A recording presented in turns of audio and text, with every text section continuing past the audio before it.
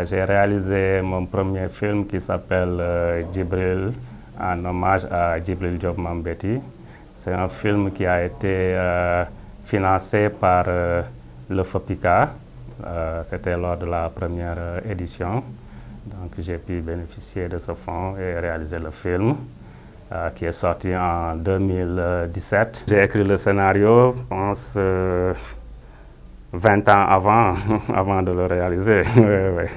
Donc, euh, vraiment, c'était la galère. Pour la première fois, c'était à Clermont-Ferrand, qui est le plus prestigieux festival de court-métrage au monde.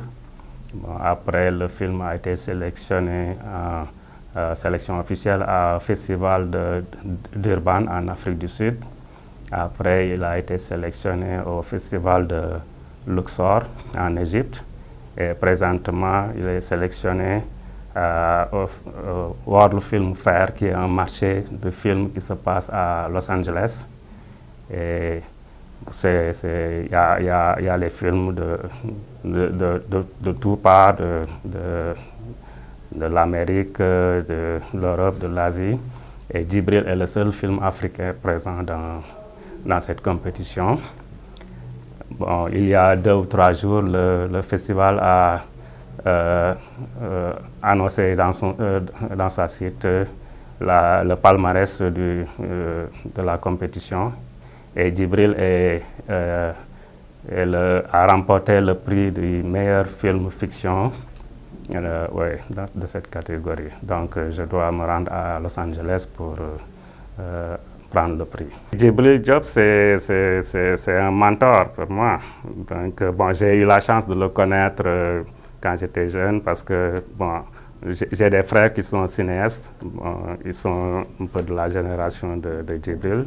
Et Djibril venait souvent à la maison. On se, on se, voyait de temps en temps. Et à chaque fois, il m'encourageait à, à, faire des films. Chaque, chaque fois quand on se rencontre, il me dit il faut faire des films. Il faut faire des films. Donc, euh, quand j'ai pensé faire mon, mon premier film, euh, j'ai pensé euh, lui rendre hommage dans ce film qui est Djibril, où j'essaie de, de, faire des clins d'œil dans sa filmographie.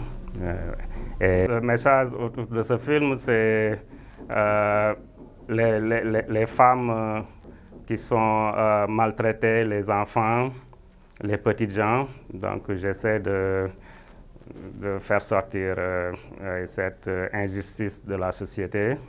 C'est une sorte de, mosaïque où on retrouve la filmographie de Djibril. Et il y a une histoire parallèle qui, passe en même temps.